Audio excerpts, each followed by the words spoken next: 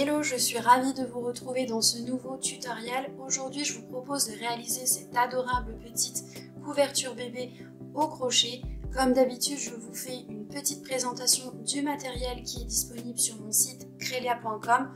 Je vous mets les liens en description, n'hésitez pas à aller faire un tour sur mon site.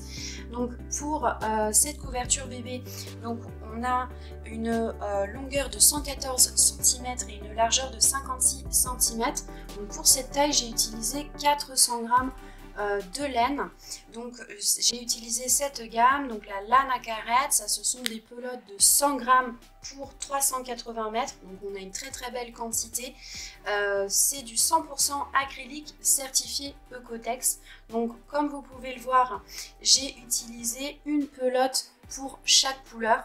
Donc pour cette taille, donc on a 400 grammes. Si vous voulez faire la taille adulte, donc faire la couverture pour un adulte, vous euh, doublez tout simplement les quantités. Donc vous prenez une couleur de chaque et vous prenez donc 800 grammes. Et ensuite on va travailler avec un crochet numéro 4. Donc c'est tout pour la présentation du matériel. On va pouvoir tout de suite commencer le tutoriel. Ok, donc c'est parti pour le tutoriel. Donc là, comme vous pouvez le voir, euh, pour l'ouvrage, j'ai alterné plusieurs couleurs. Euh, donc à chaque fois, j'ai réalisé deux rangs. Euh, avec une couleur. Donc j'ai commencé par euh, deux rangs avec la couleur blanche, ensuite le blanc cassé, euh, la couleur beige et ensuite donc la pelote, donc celle-ci, vous voyez, où il y a plusieurs nuances. Et ce qui est très sympa, c'est que dans cette pelote, on a un rappel également des trois premières couleurs et ensuite avec un petit peu de marron un petit peu plus foncé. Donc je trouve ça très très sympa. Euh, le rendu est euh, vraiment euh, magnifique. Pour le tutoriel, je vais réaliser un petit échantillon. Dans cet échantillon, je vais vous montrer comment réaliser le point, bien évidemment, et également comment on change la couleur. Vous allez voir que c'est très très simple à faire. Donc on va commencer par monter une chaînette de mailles en l'air. Vous allez avoir besoin d'un multiple de 5 plus 1. Donc moi pour l'ouvrage, j'ai monté une chaînette de 171 mailles en l'air. Donc comme je vous ai dit, pour le tutoriel, moi je vais faire un petit échantillon. Donc on va faire un nœud de départ. Vous montez vos 171 mailles en l'air. Moi pour ma part, je vais monter 31 mailles en l'air. Et on se retrouve pour la suite. Une fois que vous avez monté vos 171 mailles en l'air, vous allez rajouter 3 mailles en l'air. Ces 3 mailles en l'air correspondent à une première bride. Vous allez réaliser une deuxième bride à la quatrième maille chaînette qui se présente. Donc 1, 2, 3. À la quatrième, vous allez réaliser une première bride.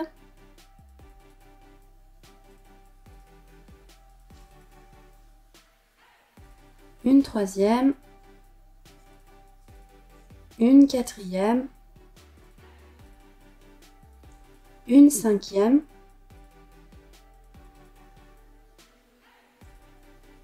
une sixième. Donc là, dans cette maille chaînette, il nous faut un total de 6 brides. Vous allez compter 1, 2, 3, 4. À la cinquième, vous allez réaliser 6 brides.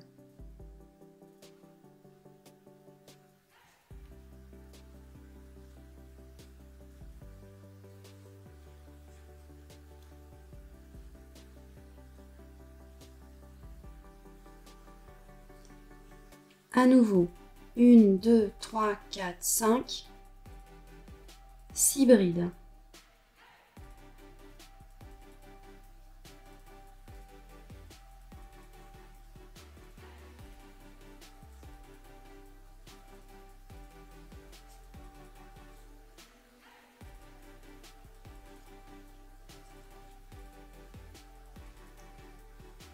Ainsi de suite tout le long. À la fin du rang, il doit vous rester 5 mailles chaînettes. Donc 1, 2, 3, 4, 5. À la toute dernière maille chaînette, vous allez réaliser 6 brides.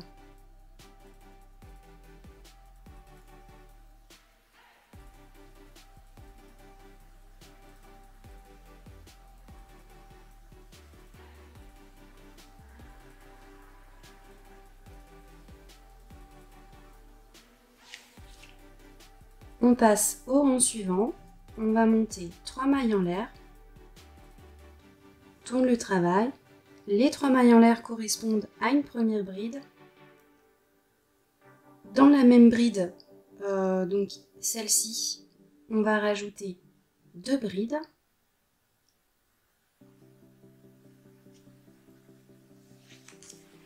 Et on va travailler 6 brides donc dans cet espace ici, donc là vous voyez on a 6 brides et 6 brides du rang précédent. Donc entre ces groupes de brides, on va travailler 6 brides.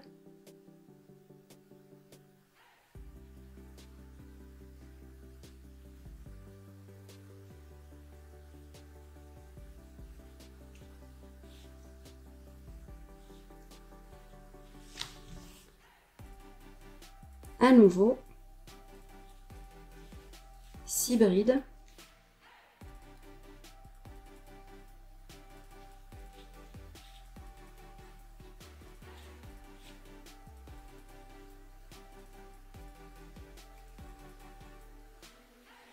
Donc ainsi de suite tout le long du rang.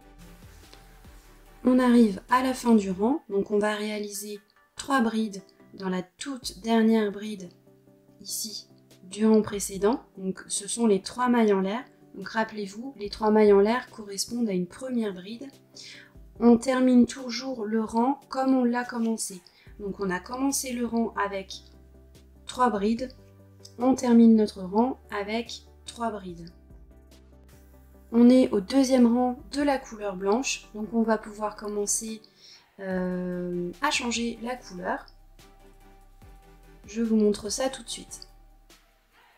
Donc on va faire nos trois dernières brides.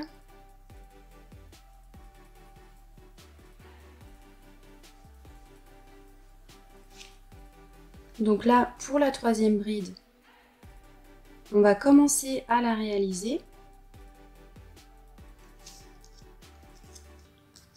On attrape le fil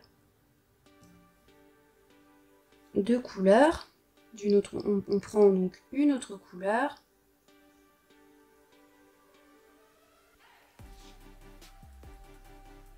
Donc là, je prends une couleur au hasard. Bien évidemment, euh, après vous alternez les couleurs comme vous préférez. Donc moi, pour ma part, j'ai fait blanc, blanc cassé, beige et euh, la pelote euh, nuancée.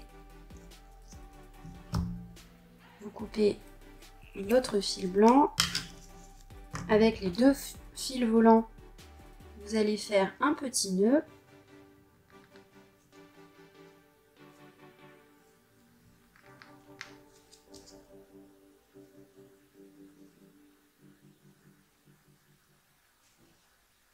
Donc là, vous allez pouvoir commencer donc, le rang suivant. Donc on va monter 3 mailles en l'air. On tourne le travail. Donc ici, on a un espace qui s'est créé. Donc on a les trois brides et les 6 brides ici. Donc à l'intérieur de cet espace, on va faire 6 brides.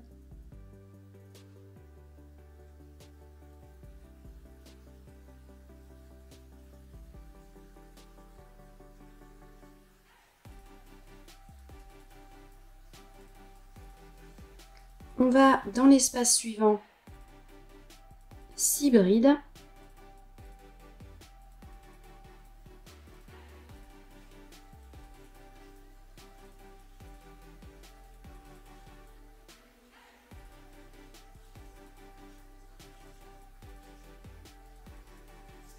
Donc ainsi de suite tout le long du rang. Arrivé à la fin du rang, donc on va travailler notre dernier groupe de 6 brides.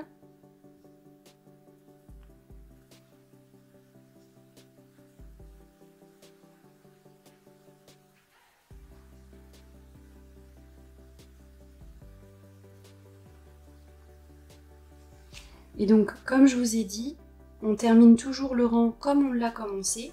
Donc on a commencé le rang avec une bride. Donc on va terminer par une bride. Donc dans la toute dernière bride du rang précédent.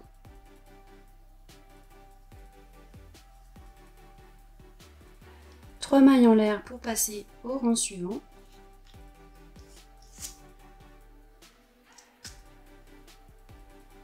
Donc ici, on a un petit espace. Donc on va travailler deux brides.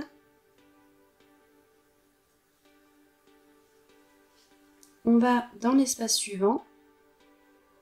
On va travailler six brides.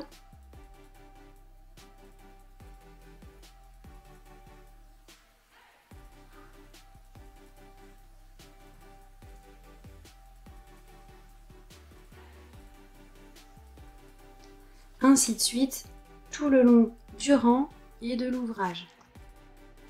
Ok, donc là vous allez travailler euh, comme ceci donc pour tout euh, l'ouvrage. vous voyez, c'est très très simple. Donc à chaque fois, au début, vous allez alterner cette façon de débuter les rangs. Donc lorsque dans le rang précédent, on a travaillé, euh, on a commencé à travailler trois brides, donc pour le rang suivant, vous allez réaliser une bride. Ainsi de suite. Ici, on a fait on a commencé le rang par une bride, donc euh, on commence le rang suivant par euh, trois brides. Donc là, vous allez alterner euh, comme ceci donc pour tous les rangs. À chaque fois, vous terminez les rangs comme vous l'avez commencé. Donc là, ici, en l'occurrence, on a commencé par trois brides. Donc à la fin du rang, on va faire deux brides dans cet espace et une troisième bride en haut des trois mailles en l'air du rang précédent. Et euh, vous allez donc alterner les couleurs. Donc moi, comme je vous ai dit pour ma part, à chaque fois j'ai réalisé deux rangs et j'ai changé euh, la couleur. Après, vous, bah, en fonction de votre créativité et de vos préférences, évidemment, vous alternez les couleurs comme, comme vous voulez. voilà. Donc une fois que vous avez terminé donc, votre petite couverture. Donc il y a juste une dernière petite finition à faire. Donc tous les fils volants, euh, vous allez donc les cacher dans le travail comme ceci avec votre crochet. vous attrapez les fils volants et vous les cachez dans les mailles. Donc c'est une partie qui est un petit peu euh, relou à faire, donc euh, je l'avoue. moi c'est le genre de finition qui, euh, qui m'ennuie, mais il faut le faire. Donc voilà, vous allez cacher tous les petits fils volants euh, dans le travail et votre couverture sera terminée.